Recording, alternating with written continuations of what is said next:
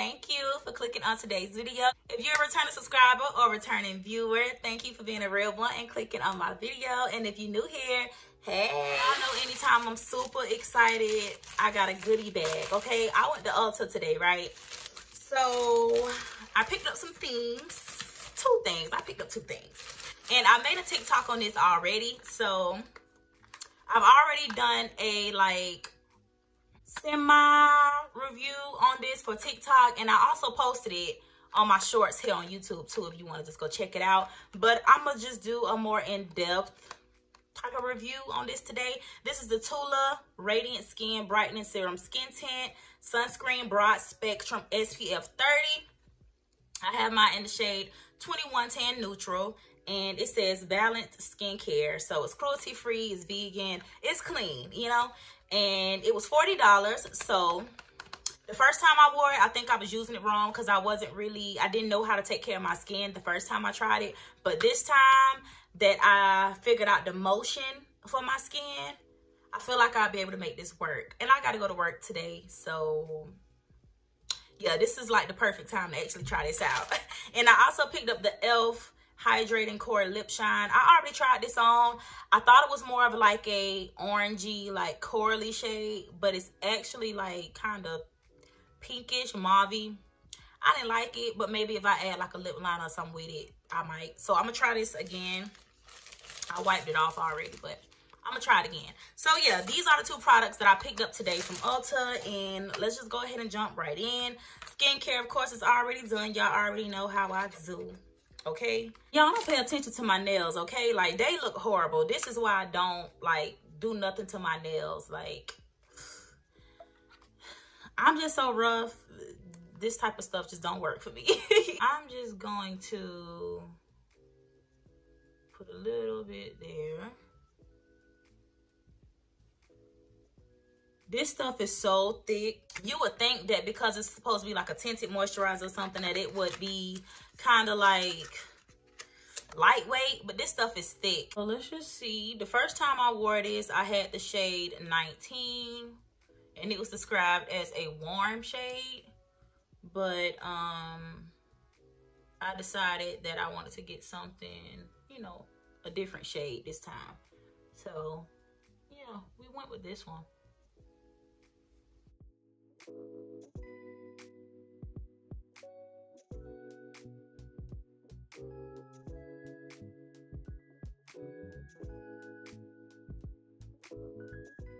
I do like this shade better than the 10 19 that I tried the first time. Like it was pretty, don't get me wrong, but it was just like golden. It was like real golden. I'm gonna apply just a little bit more just to see how it builds up.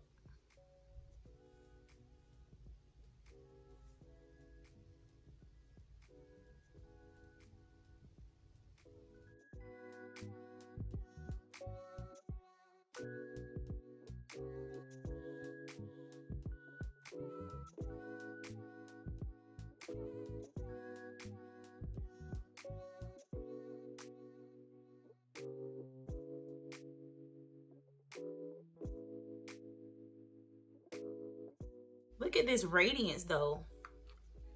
Y'all seeing this? Let me bring you in. Look at the center of my forehead. Like, look at how radiant the center of my forehead is.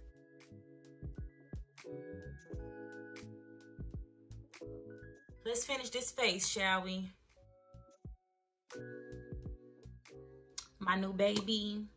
Taking my new boo. My new baby.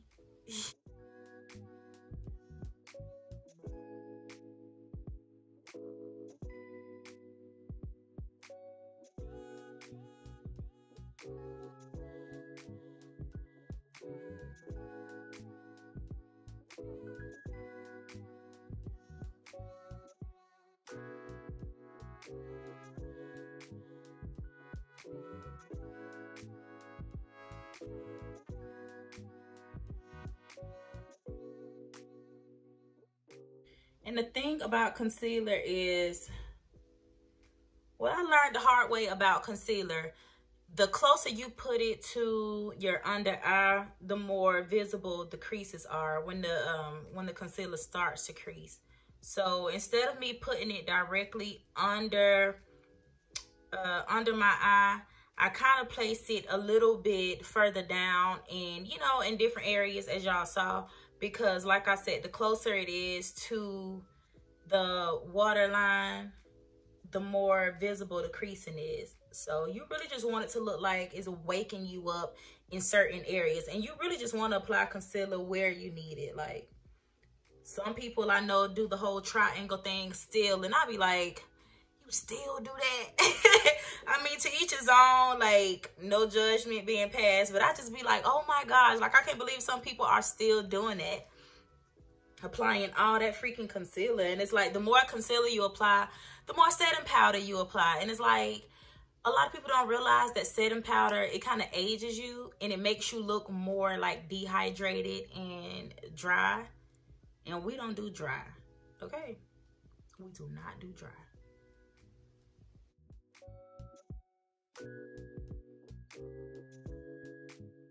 Okay, taking my holy grail my Tower 28 blush in the shade Golden Hour. Y'all know, like, this is just, like, the perfect, the perfect blush. It's just perfect.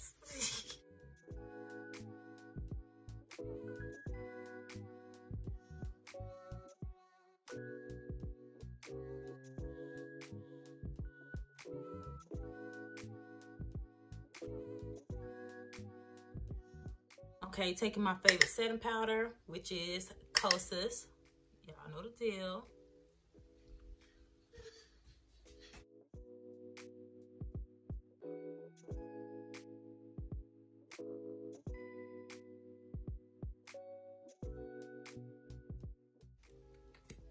Tower 28 mascara.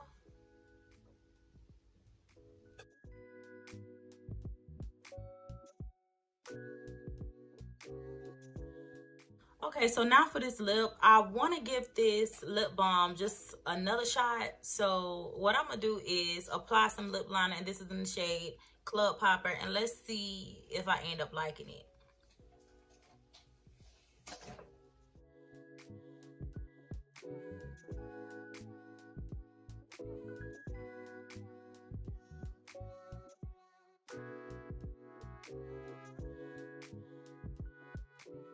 And this is in the shade Lovely Ravissant. Ravissant.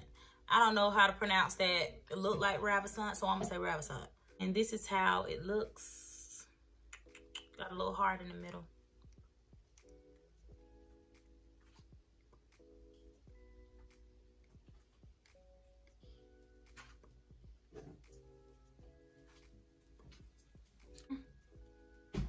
Feel like the lip liner kind of took away from the naturalness that the uh, lip balm is supposed to give. It is just a lip balm, but I didn't like it on its own, so I just wanted to see how it would look if I paired it up with something else.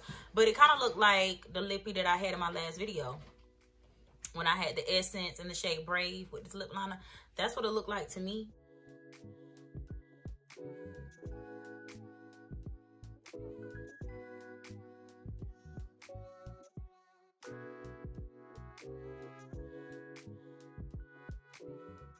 Okay.